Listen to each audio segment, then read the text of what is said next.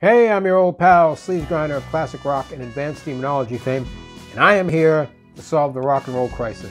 Every week, I'll be presenting you with a hot new release, so gird your loins, everybody. It's time for True Rockers Only.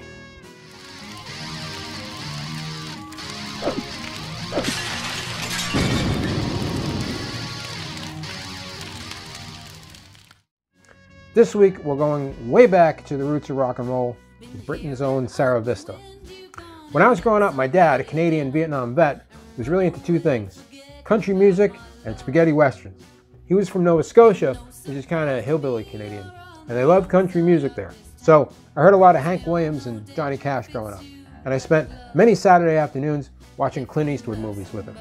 Of course, I was a teenager in the 80s and I got into the sleazy hard rock that I'm known for writing about, but I never lost my affection for vintage country and vintage westerns. In fact, I grew to love them even more as I got older. I mean, I have a Hank Williams tattoo on my arm, and I have a Lee Van Cleef tattoo on my chest. This stuff is really part of who I am, so I was thrilled to stumble on the music of Sarah Vista thanks to a review in Vintage Rock magazine. By the way, if you have not read it, I highly recommend Vintage Rock magazine if you have any interest in 50s and 60s rock and roll. It's a very well written and highly informative magazine.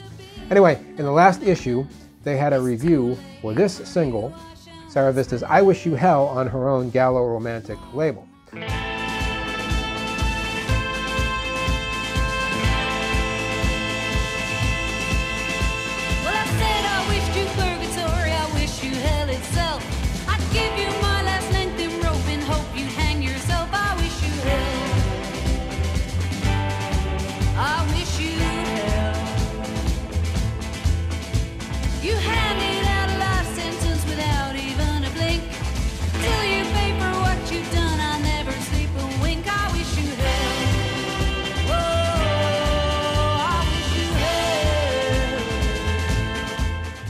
This is a 2019 reissue of the single on red wax and uh, with the alternate Spanish title to celebrate Sarah's tour of Spain. You can see the awesome video for the song behind me. Like my dad did, Sarah Vista loves two things vintage country and spaghetti westerns, and she brings them both perfectly together in this incredible single. I Wish You Hell is sweeping and cinematic.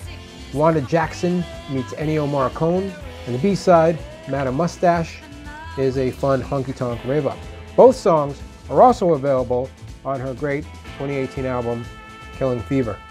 One of my fave albums from my dad's collection was Marty Robbins' landmark 1959 album Gunfighter Ballads and Trail Songs. And that's what this album reminds me of. It's got lots of tough, steely gunfighter songs like Get Three Coffins Ready and Hell at Noon. But it's also got honky tonk, it's got some ballads. It's like Patsy Cline with blazing six shooters.